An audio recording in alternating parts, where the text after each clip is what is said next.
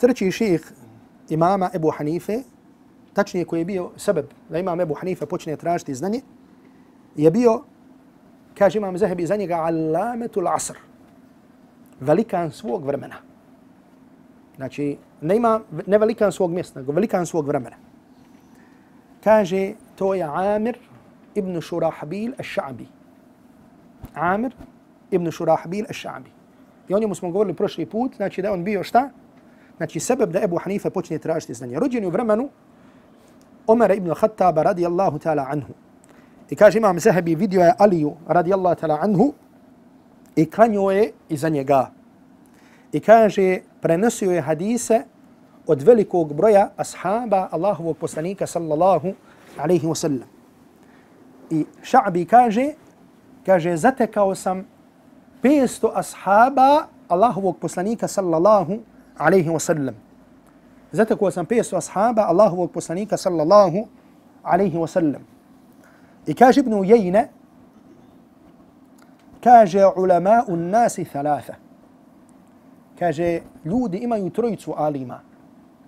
Ili trojica alima su najpopularniji ili najveći među ljudima.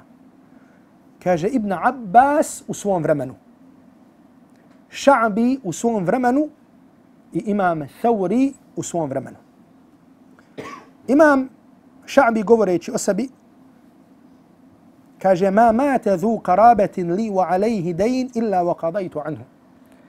Kaže nikada niko od moje rodbine nije umro, a da je bio zadužen, a da za njega nisam, a da za njega nisam isplatio, da za njega nisam isplatio dug. Ibn Sirin je jedne prilike rekao, to je Muhammed ibn Sirin, znači poznati tabin koji je bio poznat po čemu? Po tumačenju snova. Je rekao jednim od prisutnih, kaže, ilzami ša'bi, kaže, drži, drži se ša'bija. Fela kad ra'ejtuhu yustafta. kaže, vidio sam kako ljudi od njega traže fetve, wa ashabu rasulillah sallallahu alaihi wa sallam tawafirun. Kaže, kako od njega ljudi traže fetve, a ashabi Allahovog poslanika sallallahu alaihi wa sallam se nalaze oko njega. Znači, pored ashaba, ljudi su tražili fetve od imama Ša'bija. Imam Ša'bi jedne prilike upitan odakle ti svo to znanje. Znači, kako si sakupio to znanje? Pa kaže imam Ša'bi, kaže, bi, nef, bi nefil igtimam. Kaže, tako što se nisam žalostio. Tako što se nisam žalostio. Kaže, i što sam imao sabur ko sabur magarca. I što sam imao sabur ko sabur magarca. Znači, za magare kažu šta? Da može da može da sabura. E kaže, taki sam imao sabur. Znači, tako sam imao strpljivost na polju traženja znanja. Kaže, i po ranom ustanjanju, ustajanju poput gavrana. Znači, za gavrana kažu da ran ustaje. E kaže, tako imam šabi, znači imao sam sabur ko magare i rano sam ustajao ko gavran. Ranio sam ko gavran. I zato, draga braćo, po Bog znam koji put skrećemo pažnju na bitno sabura. Znači čovjek je čovjek. Kakav god da je on, čovjek je čovjek, insan, nije melek. I onoga koji krene da traži znanje, znači zade se razne, tako da kažem, iskušenja.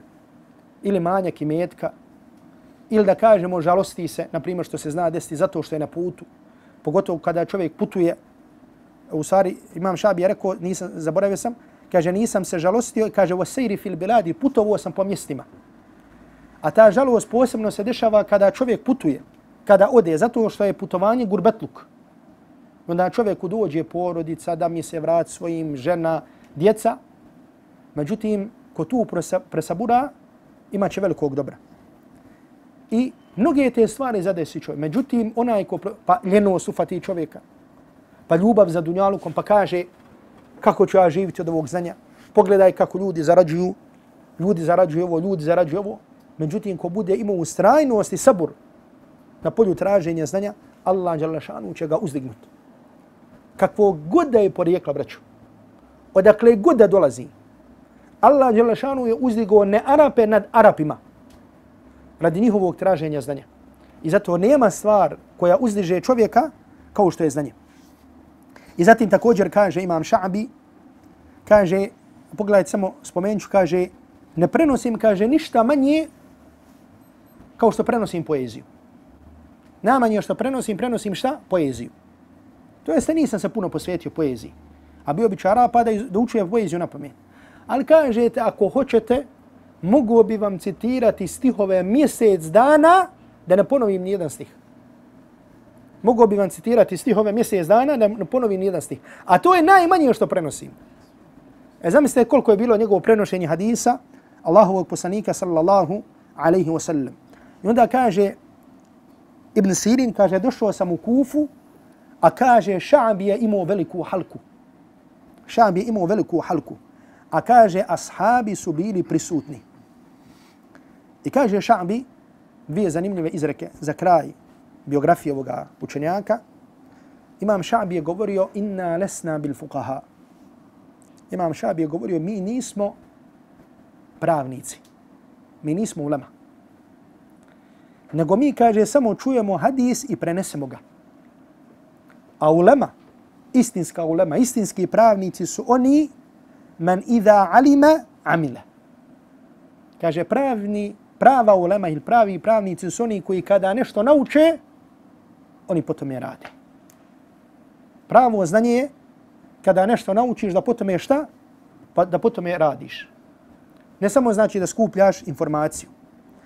I onda imam Ša'bi govorio lejtani lam akun alimtu min zal ilmi še'an.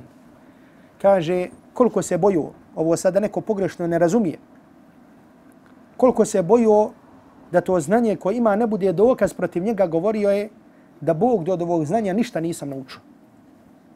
Znači, bojeći se, bojeći se, znači ovo ne da neko pogrešno razumije kaže, eh, na kraju ne treba vam učiti.